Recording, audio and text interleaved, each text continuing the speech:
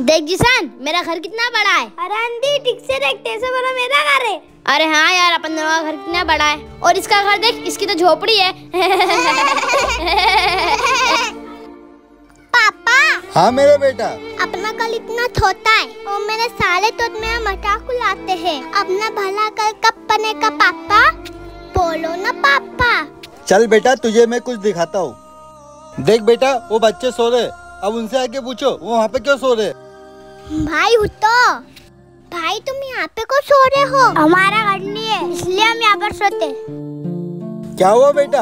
पापा इनका घर नहीं है ना इसलिए यहाँ पे सो रहे हैं। देखा बेटा अपना घर छोटा है तो क्या हुआ? लेकिन अपने पास घर तो है ना। इन लोगों के पास तो खुद का घर भी नहीं है इसलिए दूसरों को होटलों में सोते हैं। हमें हर हाल में अल्लाह का शुक्र अदा करना चाहिए। ये अल्लाह तेरा शुक्र है हमारा छोटा था